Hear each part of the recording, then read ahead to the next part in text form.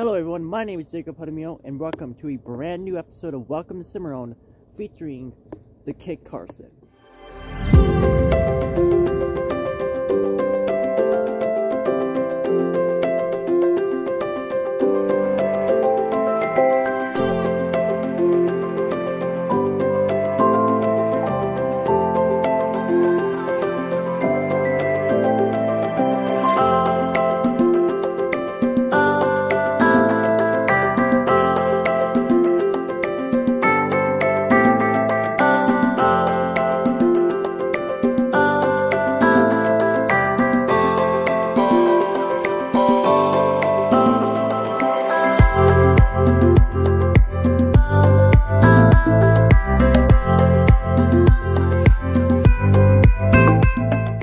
Is, who are you and uh, what do you do here at the Kit Carson? Hi, my name is Rhonda Ladley, and I am the owner of the Kit Carson by Mountain Magnolia. I'm in the process of purchasing the building, haven't done it yet, so currently leasing.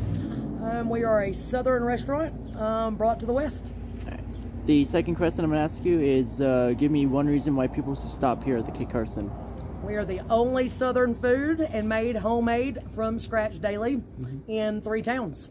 So we've got great food, great hours, um, and great people to work for us.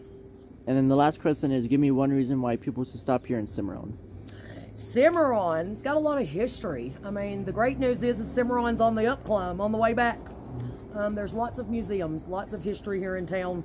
Um, Kit Carson, my grandson is named after Kit Carson, but also Kit Carson was a great gunslinger and great trapper.